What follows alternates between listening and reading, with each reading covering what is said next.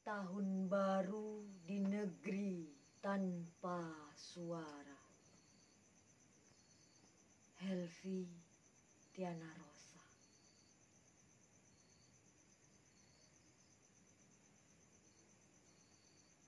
Tahun baru tersungkur. Menangis di depan pintu rumahku. Wajahnya memar dihajar petasan dan prasangka.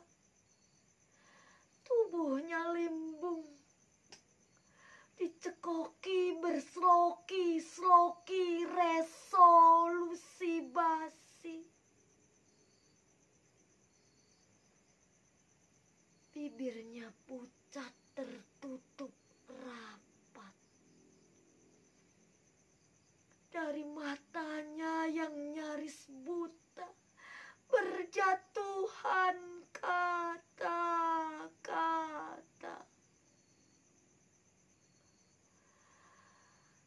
Tolong, tolong.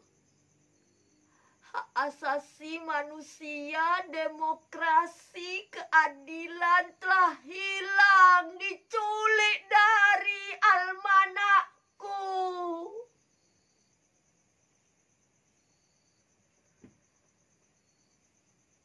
kata jadi apa? Tanpa nurani dan suara. Sementara keran-keran kekuasaan meluapkan drama-drama tanpa logika.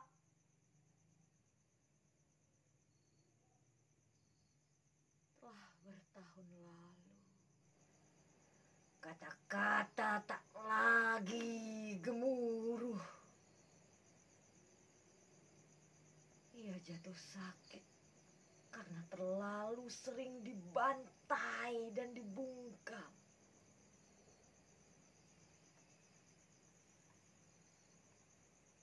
Orang-orang menyeret mayatnya pagi ini